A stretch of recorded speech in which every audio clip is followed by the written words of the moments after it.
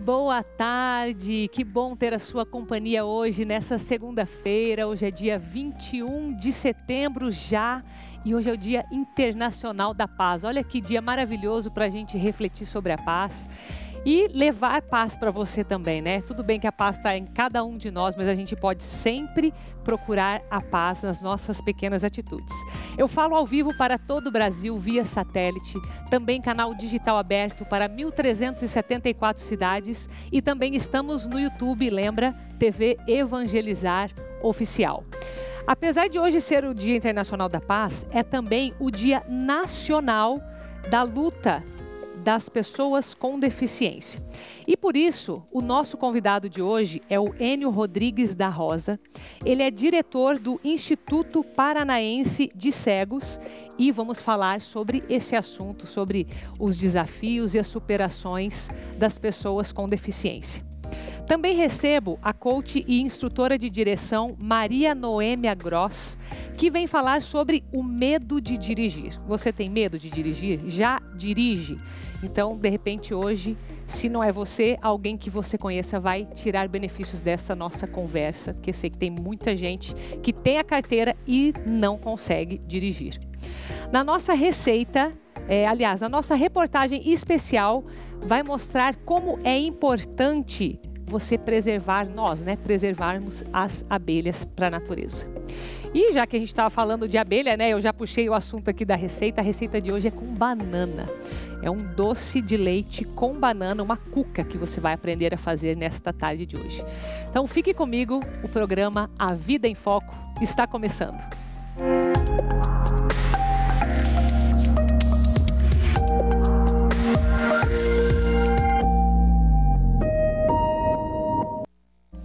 Então, já que hoje é o Dia Nacional da Luta das Pessoas com Deficiência, eu recebo aqui no estúdio o Enio Rodrigues da Rosa. Ele é diretor do Instituto Paranaense de Cegos. Seja bem-vindo, Enio, tudo bem? Boa tarde, Carol. Boa tarde aos ouvintes de Vida em Foque. Boa tarde a todos os telespectadores do país da Rede Evangelizar. É um prazer estar aqui contigo e conversando com seus espectadores. Eu que agradeço a tua presença.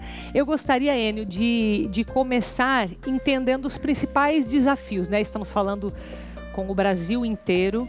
Você, como diretor do Instituto Paranense de Cegos, o, o que, que você percebe é, dos principais desafios das pessoas com deficiência hoje? Olha, eu diria que hoje um dos, dos principais problemas que nós ainda enfrentamos, se olha assim para a história, pega a história recente do país e mesmo olhando assim pós-constituição de 1988, onde teve toda aquela luta nacional, né, naquele período ali de redemocratização do país, Assembleia Nacional Constituinte, depois a, a, a Constituição e posteriormente, né, todo aquele arcabouço jurídico, uhum. eu diria que hoje a gente tem uma das melhores legislações do país, isso é reconhecido internacionalmente, mas ainda tem, a gente ainda enfrenta um problema considerável que é tirar tudo isso do papel, digamos assim, e uhum. concretizar isso em termos de ações, políticas públicas, mesmo ações da sociedade, coisa desse tipo. Então, assim, é, um dos principais problemas que nós ainda enfrentamos hoje é preconceito e discriminação, com é certeza. É mesmo? E, e, como que é esse, como que você sente isso, né? É, essa discriminação da parte das pessoas? A discriminação, preconceito, essas coisas se manifestam de N maneiras, né? Tem aquele, aquela, aquele preconceito, aquela discriminação de uma forma um pouco mais velada, né? Desde, desde o tipo de uma abordagem, tipo ceguinho, coisa parecida com isso, né? Hum. Essa, essas, essas maneiras pejorativas de se dirigir às pessoas com deficiência, até mesmo em ações mais concretas, quando você, por exemplo, está na luta ou necessita da concretização de um direito no campo da saúde, questão do emprego, por exemplo, pessoas com deficiência hoje é um problema seríssimo ainda, né? Não obstante a gente tenha uma legislação que garanta direito às pessoas com deficiência a reservas de vaga, por exemplo, tanto no setor privado como no setor público, infelizmente, de uns tempos para cá, é, a gente tem constatado uma dificuldade cada vez maior de inserir pessoas com deficiência no mercado de trabalho, principalmente depois da reforma trabalhista, agora nesse período de pandemia, os dados mais recentes que a gente tem mostram que houve uma redução na contratação de pessoas com deficiência, cerca de 80% mais ou menos.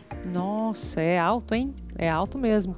Enio, na sua opinião, o que, que a sociedade pode fazer para para ajudar nessa, nessa luta, já que hoje é o Dia Nacional né, da luta do, ao lado das pessoas com deficiência?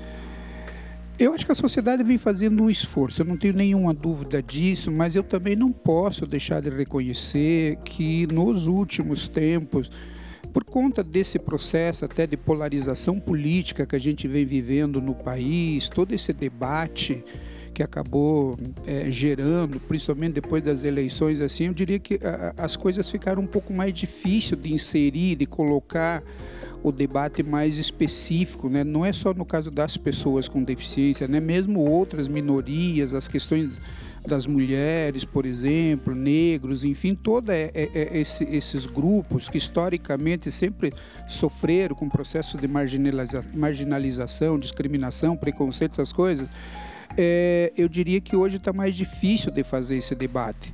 Agora, o que, que, a sociedade tem que fazer, ao meu ver, cada vez mais assim procurar compreender melhor qual é a realidade das pessoas com deficiência, outras realidades, de outros segmentos, de outras minorias, escapar desse debate mais polarizado, que às vezes as, as, as coisas se encontram, parece mais desculpa a brincadeira, mas parece mais torcida de briga de torcida de futebol do uhum. que propriamente né, um debate mais sério, mais engajado e mais preocupado. Então, acho que o principal é, desafio nosso e a principal tarefa da sociedade é compreender um pouco melhor qual é a realidade das pessoas com deficiência e a partir deste momento compreender que nós estamos tratando de pessoas, nós não estamos falando de outra coisa, nem que a, a despeito de eu ser cego eu, eu sou tão humano e eu sou tão pessoa como qualquer outra pessoa, e tanto assim por tanto de qualquer outras pessoas, né? O aspecto humano tá antes de, deveria estar antes de qualquer coisa, da cegueira, da cor da pele, do de, de, de gênero e por aí afora. Agora, por aí afora. Agora, infelizmente, a gente está vivendo um momento, eu diria, um quanto difícil e desafiador para a própria sociedade, né? Uhum. E com relação, Enio, à acessibilidade, na sua opinião, é, e estando na pele, né? Como que você sente a acessibilidade? Tem muitas dificuldades. Hoje em dia está mais fácil de realizar as atividades, enfim, e daí podemos até falar de inclusão mesmo. Qual a sua opinião? Olha, se eu olho para cegos especificamente, eu estava agora de manhã, inclusive, ouvindo uma, uma entrevista de um, de um cego, inclusive, que é subprocurador no, no Ministério da Justiça. E eles estão fazendo um levantamento, por exemplo, de todos os sites do Poder Judiciário a nível nacional e mesmo do Poder Público, né, da, da, do governo federal. E tristemente constatando o que ele mesmo estava relatando. Veja, não sou nem eu que estou dizendo, eu estou falando no subprocurador, que é cego, uhum. que está lá dentro do Ministério da Justiça, dizendo o seguinte: infelizmente, hoje do ponto de vista de acessibilidade digital, você não encontra um site que você possa dizer que ele esteja totalmente acessível sem nenhum tipo de restrição de acesso. Isso do ponto de vista digital. Do ponto de vista de barreiras arquitetônicas, uhum. a mesma coisa. Né? Então, em que pese a gente tem a legislação municipal, legislação estadual, uma lei brasileira da inclusão aprovada em, em 2014 nós ainda estamos muito distantes de garantir uma acessibilidade. Se a gente olha, anda pelas ruas de Curitiba, as calçadas, você verifica assim o quão de desafiador a gente tem. Estou uhum. pegando o exemplo de Curitiba, mas se você olha para o país todo, uhum. né, seus telespectadores certamente né, constatam isso lá nos seus respectivos municípios onde moram. Então a gente tem uma luta danada. Aquilo que eu disse para você, nós temos uma ótima legislação, mas o nosso maior desafio hoje é transpor isso do plano ali da formalidade daquilo que está na lei para o plano é, concreto, né, na vida real das pessoas, né? Uhum. E para a gente fechar, o que mensagem você gostaria de deixar para as pessoas que estão te assistindo hoje, no Dia Nacional dessa luta com as pessoas com dependência? É, Dia Nacional da Luta, na verdade é assim, né? Parece aquela brincadeira, todo dia é dia de índio, né? Oh. Então todo dia é dia da pessoa com deficiência, dia de luta, enfim, uhum. mas hoje é uma data, realmente uma data significativa, ela foi pensada lá em 1982, naquele processo de redemocratização, e ela tinha como foco essa coisa mesmo, luta uhum. pelos direitos das pessoas com deficiência. Eu acho que a, a mensagem é assim, vale para as pessoas com deficiência e vale para todas as pessoas. A gente está vivendo um momento onde as pessoas, a sociedade precisa estar cada vez mais mais engajada. Do ponto de vista específico das pessoas com deficiência, eu acho que o mais importante é que a sociedade cada vez mais se coloque aberta e à disposição para fazer esse debate, esclarecer né, quais são as necessidades reais das pessoas com deficiência e possam interagir, dialogar com, com esse segmento da mesma forma que a gente age e dialoga com tantos outros segmentos. Né? Que legal. Muito obrigada, viu, Enio, pela tua participação hoje, pela tua presença. Agradeço muito. Carol, agradeço você de coração, agradeço né, a, a rede por ter oportunizado esse momento de trocar algumas ideias e algumas palavras com seus telespectadores a nível nacional. Um abraço a todos. Eu que agradeço. Vamos agora falar um pouco sobre as abelhas. Você sabe que elas são muito importantes para a natureza, né? Veja nessa reportagem. Uma paixão que começou há 10 anos. Dona Célia é meliponicultora, ou seja, criadora de abelhas nativas sem ferrão. Ela já cultivava orgânicos na propriedade que fica em São José dos Pinhais, região metropolitana de Curitiba. Ambiente ideal para esse tipo de inseto. Começamos com duas caixinhas e fomos ampliando.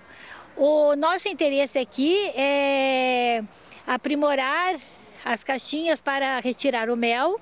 Estamos abertos aos pesquisadores que vêm para poder é, ampliar os seus estudos. Pesquisadores iguais a Kátia. Ela explica que a importância das abelhas vai muito além da produção de mel. As abelhas, eu digo que elas têm valor de mercado, valor de convivência e valor moral. O valor de mercado se refere à produção que nós podemos obter. O valor é, estético que elas têm também é muito importante. O prazer de você saber que você está colaborando com a natureza pelo fato de você estar preservando uma abelha e o valor moral delas eu digo em relação à ética. Muitas abelhas, elas são consideradas espécies específicas, polinizam apenas um tipo de vegetal. Isso quer dizer que a manutenção das abelhas no ambiente também estão diretamente ligados à sobrevivência da humanidade. Existem mais de 500 espécies de abelhas catalogadas no mundo. No Brasil, são mais de 400. Aqui na propriedade da dona Célia, por exemplo, são criadas 10 espécies. O problema é que algumas estão ameaçadas de extinção. Pela ação do homem, elas estão ameaçadas. Uma, ocupação irracional. Então, nós estamos invadindo as áreas de moradia natural dessas abelhas, com derrubadas de árvores. Outro que nós podemos citar é o caso das queimadas também. E uma das principais causas é o uso indiscriminado de agrotóxico de uma maneira incorreta. E para estimular a preservação das abelhas, associações de meliponicultores têm incentivado o cultivo de orgânicos. Independente de nós termos associados que criam abelhas, elas já fazem esse trabalho para nós, mas a gente está incentivando a criação dessas abelhas para cada vez mais a gente ter mais produtores orgânicos que polinizem mais a produção, aumenta o valor da sua produção, porque você tem frutos melhores, qualidade melhor das hortaliças e dos frutos. Então a gente, na realidade, juntou as duas coisas. A solução é pensar nas abelhas como parte de todo o processo agrícola. Eu sempre falo para os meus alunos que aprendam todos os tratos culturais, mas aprendam a trabalhar com a abelha como um insumo agrícola, utilizada no momento correto, com polinização dirigida. Isso vai aumentar a qualidade e a quantidade de frutos, seja a cultura que você esteja produzindo. As abelhas são as polinizadoras por excelência no nosso ambiente. Essa consciência Dona Célia já tem. Continua cuidando com muito carinho das 220 colmeias que existem na propriedade. Ela espera que essa dedicação sirva de exemplo para outros produtores. Os produtores ainda precisam é, se esforçar mais, conhecer mais sobre as abelhinhas, sobre os orgânicos e, e observar mais a natureza, porque nós fazemos parte desse mundo e sem abelhas nós também não existiremos.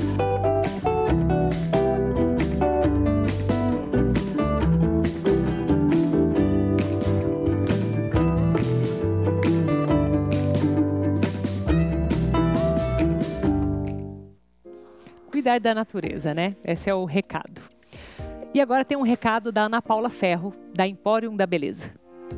Olá, queridas espectadoras. Eu sou a Ana Paula Ferro.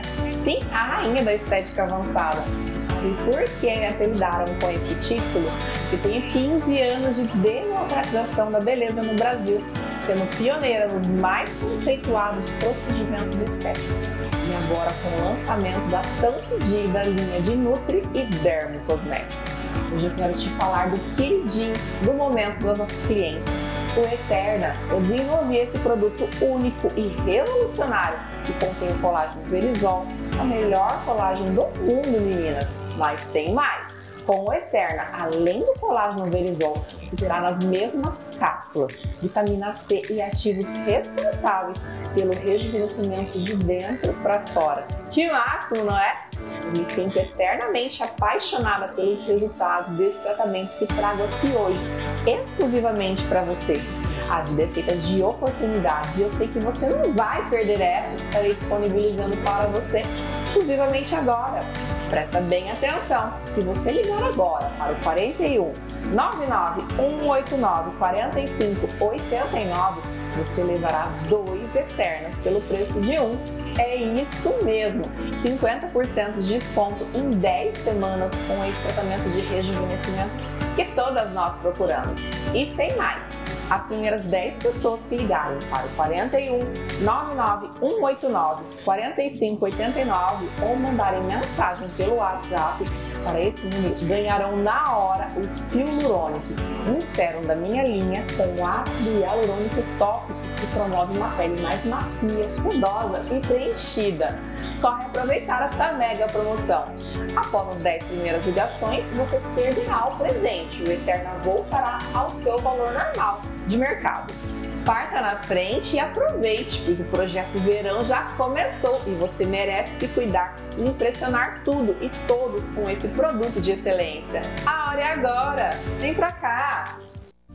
No próximo bloco eu vou conversar com a instrutora Maria Noêmia Gross e vai ser sobre o medo que as pessoas têm de dirigir. E tem ainda a nossa culinária para começar assim a semana bem doce, né? Uma cuca de banana com doce de leite deliciosa. Volte comigo já já.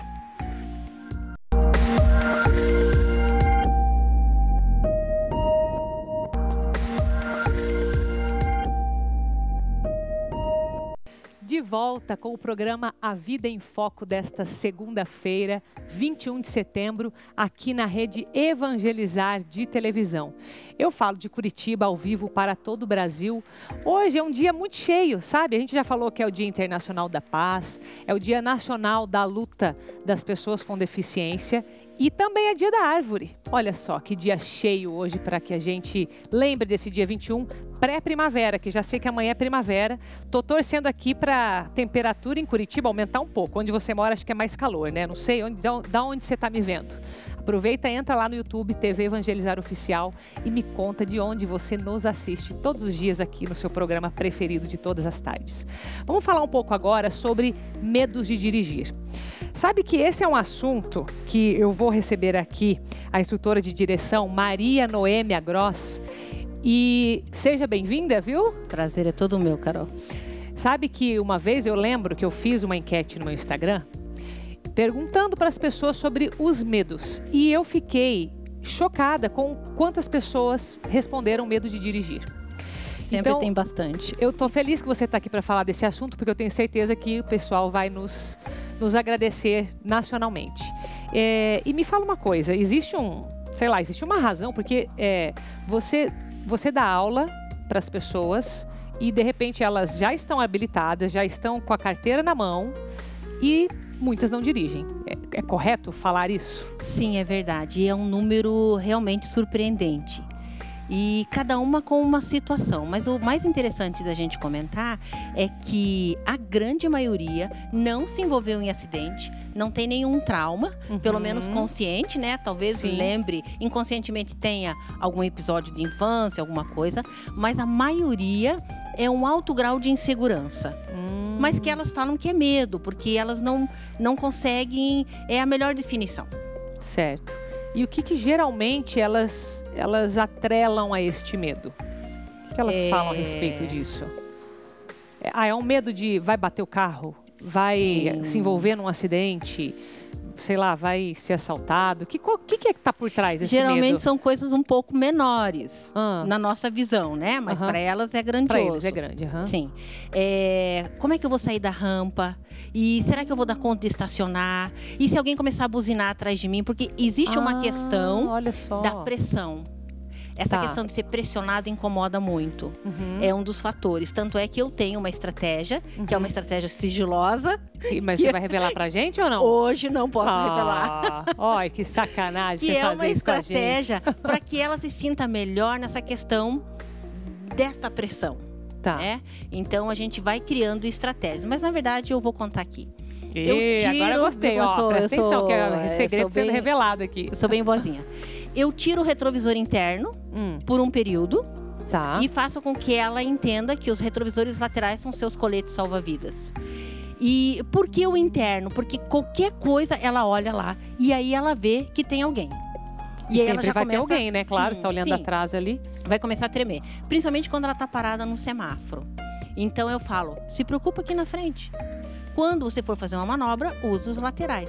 E aí passa algumas aulas, aí eu já devolvo, porque dela já nem olha mais. Olha, Aquilo já não incomoda. Então são estratégias que a gente vai desenvolvendo para que elas se sintam seguras para essa retomada. E, as, e, você sai junto com essas pessoas? Como que é? Sim, no meu carro, porque tem duplo comando igual de autoescola, tá. né?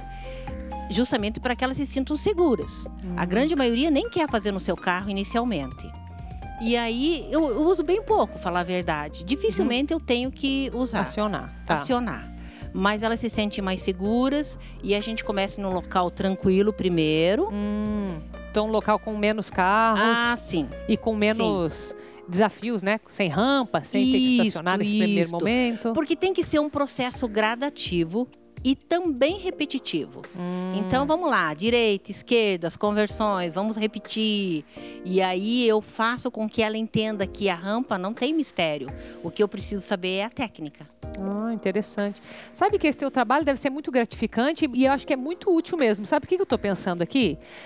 A pessoa que ela está tirando a carteira, que ela nunca dirigiu, né, que não é o, o teu caso, você pega Sim. as pessoas que já dirigem, que já têm a carteira, pelo menos, né? Uhum é, essas pessoas elas estão preocupadas em tirar a carteira de motorista. Sim. Então, assim, elas estão preocupadas em aprender aquela manobra, na, em aprender todas as leis de trânsito, que são inúmeras. Inúmeras. Aí, beleza, consegui passar, tô lá naquela prova que, é, né, que tem gente que fica lá. É. Beleza, venci, tá, e depois?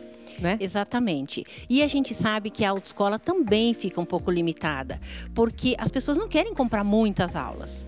Então é, é caro, é, né? é aquele é, vamos dizer assim, um básico, vamos dizer. Eles preparam para passar no teste e está tudo certo, porque é assim que funciona, é esse o sistema. Mas aí a pessoa não treinou sair da garagem do apartamento dela, que é muito estreita. Ela não treinou é ir no supermercado dela, que né? ela gosta. É as rotinas do dia a dia. Uhum. Então, um grande número realmente tirou a carteira e ela está na gaveta. Olha só. E aí, um dia ela me encontra. Olha. e fala: por favor, venha me socorrer. Nossa, é. E você falou de ser gratificante. É muito gratificante, porque a gente está saindo. É, não, não é uma questão técnica, porque a técnica você aprende rápido. Ela aprendeu já, né? É, ela sabe. É uma questão emocional. Hum ela, ela tem aquela questão de uma autoestima baixa e ela às vezes fala para ela mesma: eu não vou dar conta, eu não sou capaz. E aí, vamos lá, eu vou te ajudar e você vai conquistar, porque é a conquista da liberdade. Então você trabalha muito mais com o emocional das pessoas. Com certeza. Que uhum. legal. E, então... e, e, como que é o, o primeiro contato, assim? Você pergunta da vida da pessoa? Como que é esse início ali? Sim, eu, eu quero saber um pouquinho o, o- a vida de motorista. Me conta sua vida de Hum. motorista. Algumas dão risada e falam, é, não tem vida de motorista. Hum, Porque tirou a carteira e não dirigiu. Daí eu falo assim, mas o que que te incomoda? O que mais eh, te chama a atenção? E aí cada uma tem uma história, aham. né? Ah, eu fui pôr o carro na garagem pela primeira vez e eu bati. E meu marido gritou e ele disse que isso não era pra mim. Uhum. Então cada uma tem uma história, né? É, ou foi pegar o carro um dia e o carro morreu na hora de sair no semáforo, alguém Buzinaram xingou, atrás, ou- buzinou e ela passou muito mal e eu não quero mais viver isso pra mim. Então tá bom, Nossa. então vamos voltar. E aí eu gosto de voltar, se possível, naquele local onde aconteceu o Ah, episódio. Então o objetivo final vai ser refazer aquela cena ali. Sim. E aí nas Olha. últimas aulas, aí ela está no carro dela. Porque eu Hum. preciso dizer pra ela, você está dirigindo. Que legal. Eu só estou aqui do teu lado. E em média, quanto tempo que leva para uma pessoa? Eu acho que deve variar, mas em média. É, varia. Mas eu diria que a quantidade ideal são 10 horas aulas. Uhum. Seria É a quantidade suficiente ideal. para que a pessoa Sim, consiga resolver ali as questões É. emocionais e dirigir mesmo. exatamente. Mas cada caso é um caso. Uhum. Daí tem gente que faz 5, faz 7. E eu tenho aluno que fez 20. Aí ele queria comprar mais. Eu falei, não, eu tô te largando. Você já está... Você já está pronto agora, É, vai. Você já está vinculado demais. ali. É. Então agora você precisa assumir. E aí tem horas que eu tenho que falar, deu. Que legal. E você vê casos, então, tanto de homens quanto mulheres. Sim, Mas tem, al- tem alguma predominância ou isso não- mulheres. As mulheres têm mais medo. Mulheres. aham. Você tem uma ideia de porquê disso ou não? Eu acho que tudo é toda uma história, né? É, os homens, é, os meninos, né? Já Uhum. começam brincando de carrinho. E aí o pai já põe, vem aqui, vou tirar o carro da garagem, Tem mais comigo. incentivo, você acha, já para o É, menino sim, do que para menina? Parece que é uma conexão do carro com o sexo masculino. Entendi. Então, é, as coisas vão mudando, lógico. As mulheres estão aí, todas, né? Ao Uhum. volante e quem não está, está querendo ir. Uhum. Mas existe essa questão do vínculo pai, filho e o carro. Uhum. E aí os homens, é, na sua grande maioria, acabam resolvendo de uma maneira mais fácil. E, e, na sua opinião, os homens têm é, mais dificuldade em ir te procurar? Porque daí eles teriam que admitir Sim. uma dificuldade, Sim. né? Não tô, não tô criticando os homens, não, tá? Não é isso. Mas é, que às vezes é mais difícil para o homem expressar as Sim. emoções, né? A gente Eu já falou sobre esse acho assunto bem aqui. complicado para eles, é, porque existe uma cobrança maior. Uhum. Né? Como, como a história que eu falei de toda essa questão do Já carro. que já tem o estímulo, É. é, esperado que... Sim, como você não dirige. Então, é mais difícil para eles e eu vejo eles como guerreiros quando eles admitem, eu tô precisando de um apoio É. agora. Então, é bem bacana e engraçado, inclusive, nesse mês, agora de setembro, eu estou com dois alunos. Olha que sexo legal, viu? masculino. Tá vendo aí, ó? Dois alunos. Muito legal. Muito bom. Nossa, eu lembro da vez quando eu tirei carteira, eu era louca para dirigir. Mas a primeira coisa que vi, meu Deus, eu vou ter que fazer, tipo assim, uma baliza, né? Vou ter que estacionar o carro sozinha. E isso, é, isso me pegava um pouco, mas aí eu ia num lugar que eu sabia que não ia ter movimento e eu ficava treinando. Exatamente. Aí, essa história da garagem que você contou também. Dei ré, nossa, meti no portão, falei, gente, nunca tinha feito isso. Agora bati, raspei na lateral do carro. Falei, fazer o quê, né? Vamos pegar, vamos mandar esse do carro do meu pai ainda, né? Porque não tinha meu carro, então, enfim. Sim. Mas que bom. Mas você foi que- guerreira Eu e fui lá, persistiu, né? Mas eu Foi queria, eu ótimo. tinha vontade de dirigir, eu tinha Isso muita ajuda, vontade. ajuda Agora tem muito. gente que é- tá indo pela necessidade, né? Então que bom Sim. que tem. Sim.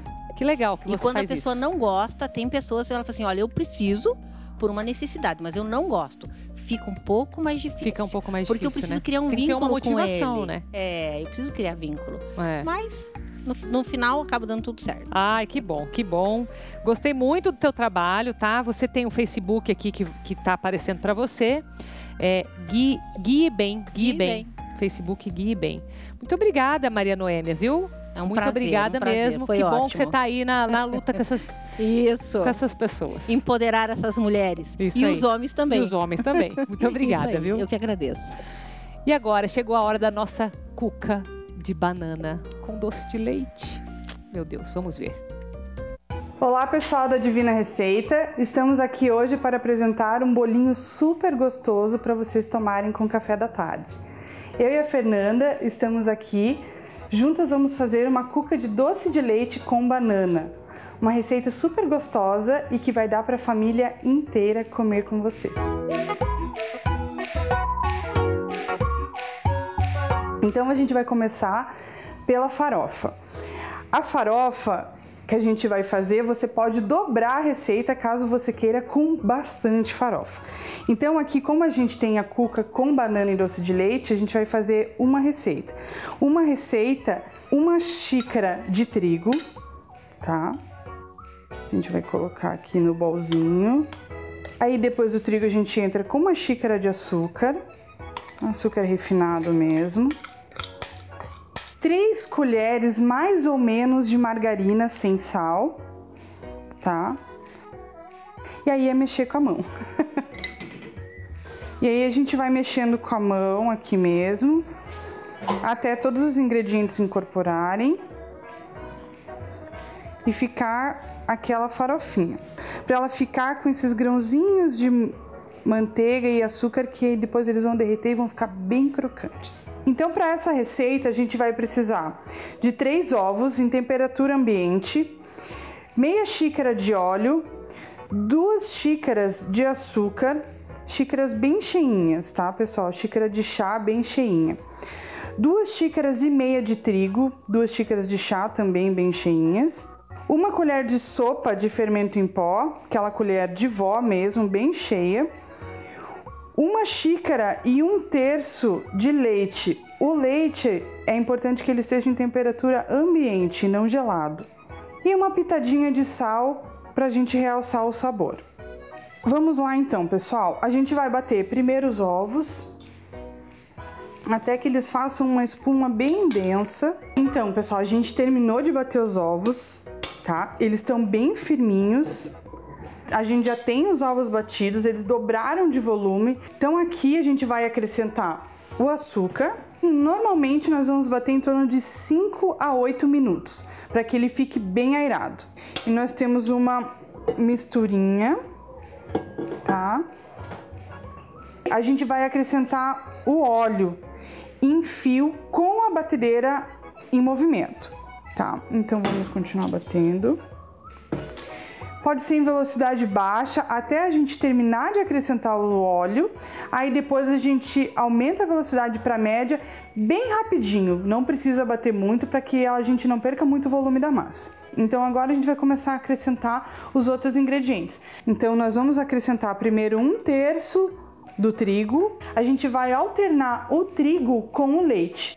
Nós vamos dividir em três partes. E aí agora a gente bate um pouquinho e retorna com o trigo e o leite na sequência.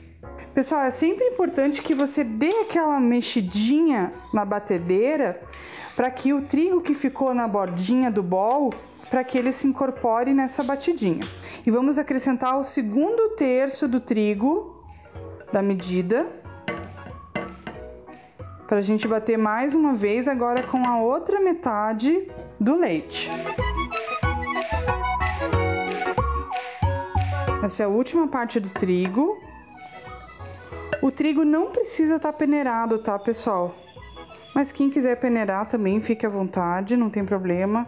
Ele não vai fazer uma diferença muito grande na massa. Então, a gente vai acrescentar aqui a pitadinha de sal, o fermento, uma colher de sopa. Aí a gente vai mexer devagarinho essa massa, para que a gente não perca o ar. Com a forma enfarinhada, a gente vai colocar nossa massa aqui na forma. Prontinho. Agora aqui nessa receita, a gente vai fazer uma cuca de banana com doce de leite. Aqui na Amarena, a gente chama essa cuca de cuca banoffee. Então aqui a Fernanda tá picando as bananas em rodelinhas, a gente vai colocar elas aqui na massa e depois a gente vai colocar com colheradinhas um pouquinho de doce de leite para dar aquele toquinho especial. Você pode acrescentar canela se você gostar também, fica uma, uma cuca bem gostosa, fica um saborzinho mais intenso, mas fica bem bom também. Acrescenta conforme você quiser. Aqui a gente está usando quatro bananas caturra. Então agora a gente vai acrescentar aquele toquezinho de doce de leite que a gente falou no começo. Você pode optar por fazer a cuca só com banana, que é bem tradicional, mas caso você queira, e eu acho que fica muito gostoso, você pode ir acrescentando essas colheradinhas de doce de leite que a Fernanda está colocando aqui pra gente. Então pode ir colocando, conforme você quiser. A gente vai colocar aquela farofa que a gente fez lá no comecinho, lembram? Então a gente já deixou ela separada, tá?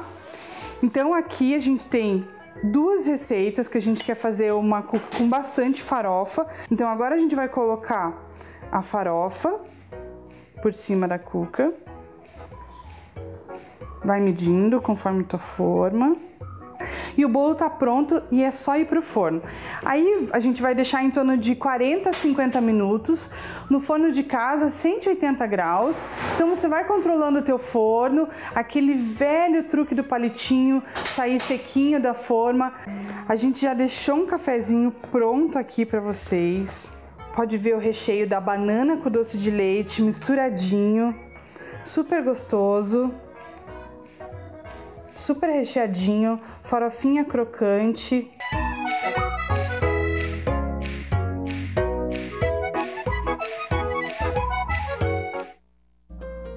Essa receita é boa, né? Para começar a semana bem já, a banana, essa cuca aí deliciosa. Se você depois quiser rever, é só ir lá no nosso YouTube, TV Evangelizar Oficial.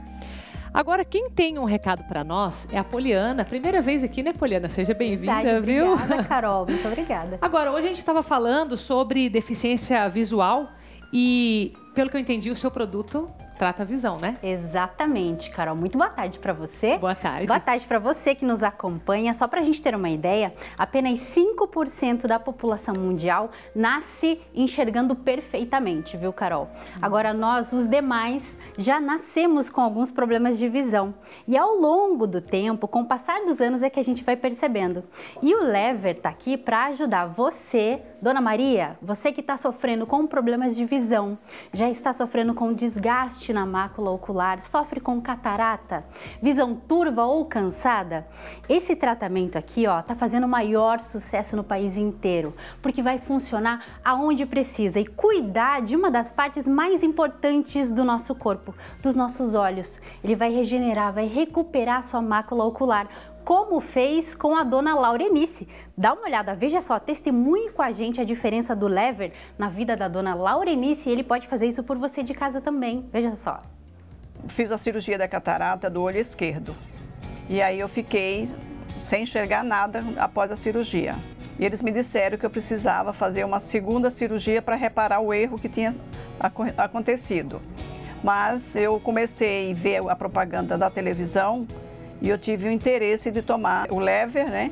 A partir do segundo mês eu já tive uma boa diferença na visão. Comecei a ver cores, vultos. Eu conversei com a minha médica, expliquei do problema e ela falou que para eu não fazer a segunda cirurgia, já que eu estava começando a enxergar bem melhor. Hoje, seis meses depois, eu já enxergo 70%, com certeza enxergo a vida mais leve. Viu só? O resultado do Lever é impressionante. Então já passa a mão no telefone e liga pra gente agora. 0800 024 1129. Vou repetir. 0800 024 1129. O Lever tem dois carotenoides, a luteína e a zeaxantina, e eles é que são responsáveis por cuidar da nossa mácula ocular. E a gente vai com certeza combater, eliminar ou pelo menos estacionar diversos problemas ligados à sua visão. Tome a iniciativa, não deixa para depois. Ligue agora na hora do programa da Carol, porque para você que ligar agora, Nesse telefone que está na tela, a gente vai garantir uma mega promoção, uma super promoção para lá de especial. O desconto tá enorme, é o maior que a gente já fez aqui na Rede Evangelizar. Eu não vou nem te falar porque eu quero que você ligue para a gente agora, mas eu já vou te passar as condições facilitadas de pagamento. A gente pode parcelar suas compras hoje em até 10 vezes sem juros, viu, Carol? Só para quem ligar agora. E além disso tudo, se você tiver entre as 50 primeiras ligações, Olha esse terço lindo que vai de presente para você que adquirir hoje o lever aqui com a gente no Vida em Foco. Comprou o lever, ganhou esse terço lindo que vai com certeza abençoar mais ainda a sua vida. E você vai pagar suas compras hoje em 10 vezes sem juros com frete grátis para todo o país. Então, não perca mais tempo, não deixa para depois, não é mesmo, Carol? Isso mesmo. Obrigada, viu, Poliana? Obrigada eu. Depois do intervalo, você vai ver dicas de como organizar as suas máscaras e os seus sapatos na entrada da sua casa. Vai lá, toma uma água rapidinho e volte comigo.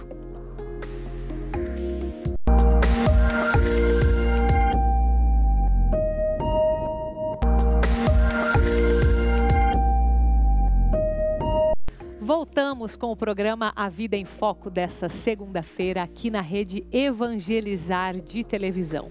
Eu sou Carol Tormena, faço companhia para você todos os dias às três e meia da tarde. E hoje a dica que você vai receber aí na sua casa fresquinha é como organizar máscaras e sapatos na entrada da sua casa. Vamos ver? Bom, gente, hoje eu vou dar algumas dicas para você organizar, sabe o que? As máscaras na sua casa. Hoje é a peça fundamental que a gente não pode se esquecer quando a gente for sair de casa. E eu pesquisando e me atrapalhando em achar as máscaras, não só eu, mas com uma família toda, eu achei uma ideia bem legal que eu vou compartilhar nesse vídeo como que dá pra gente organizar as máscaras, os sapatos quando a gente entra e algumas dicas extras. E eu tenho um carrinho organizador logo na entrada da minha casa, na área de serviço, num cantinho. Esse carrinho, ele é super versátil, ele organiza vários ambientes, várias coisas. Então, a ideia que eu tive, que eu acho uma ideia super legal, o que, que eu fiz? Eu coloquei na primeira prateleira quatro cestinhas de plástico. Por que de plástico? Porque elas são laváveis. E como, e como eu vou guardar as máscaras limpinhas ali, é preciso que elas estejam limpas.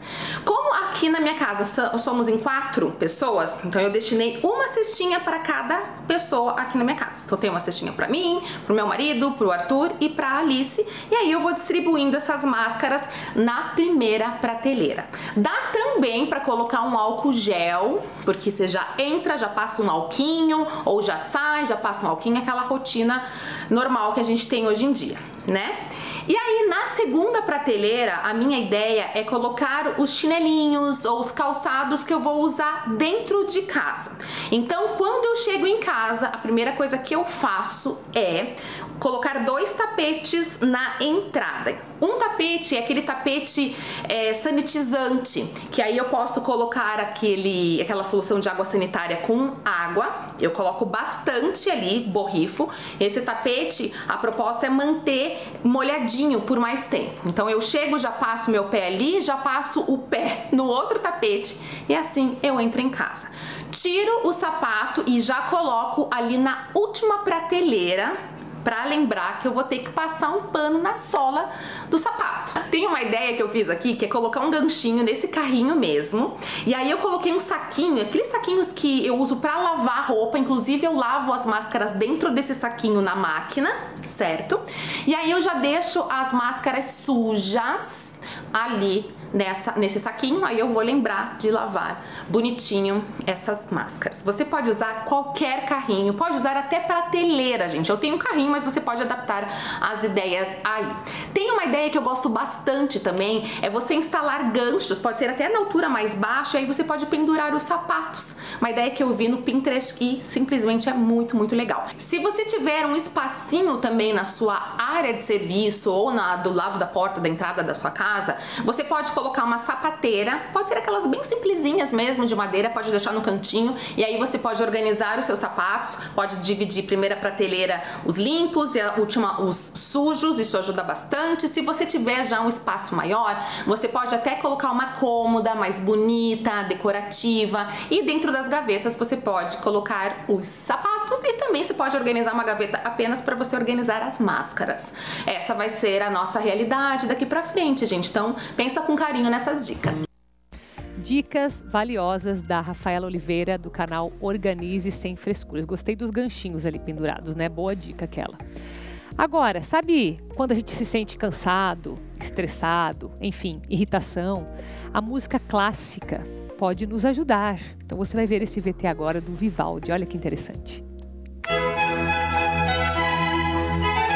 Evangelizar Ensina de hoje é dedicado a um dos mais importantes compositores italianos de música clássica.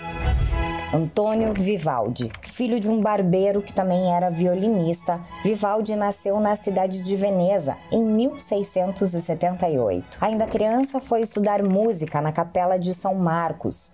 Em 1703, escolheu o caminho do sacerdócio. Era conhecido como Padre Ruivo, porque tinha cabelos avermelhados.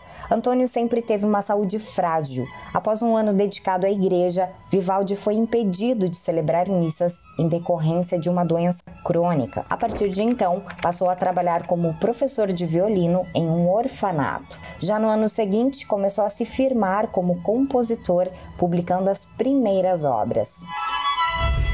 Vivaldi é considerado uma das figuras mais notáveis no universo da música clássica. Produziu ao longo da vida cerca de 770 obras. Em 1723, publicou uma coletânea que contém a obra musical mais famosa, As Quatro Estações principal característica da obra de Antônio Vivaldi é a sua própria personalidade, forte, marcante, em uma agitação e um entusiasmo de compor raramente igualada em toda a história da música clássica. Vivaldi faleceu no dia 28 de julho de 1741, aos 63 anos de idade. De legado ficaram as obras que soam de maneira encantadoramente.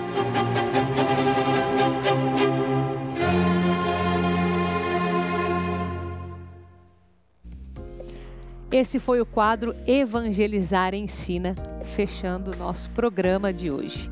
Eu volto amanhã às três e meia da tarde com você, com muita informação, conhecimento aqui para você com credibilidade, variedades, receitas. E agora você fica com a segunda temporada do programa Com Fé Venceremos. Eu vejo você amanhã, uma ótima semana. Fique com Deus.